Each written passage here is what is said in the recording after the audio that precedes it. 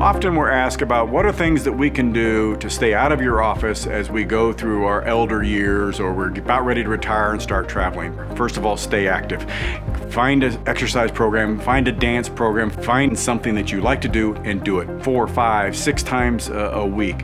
If you do have a weight challenge, get that under control. Talk to your family doctor and get your weight health as good as you can get it. A generalized stretching and balance training programs are often very helpful in preventing falls. You prevent falls, you're not coming to the emergency room to see us.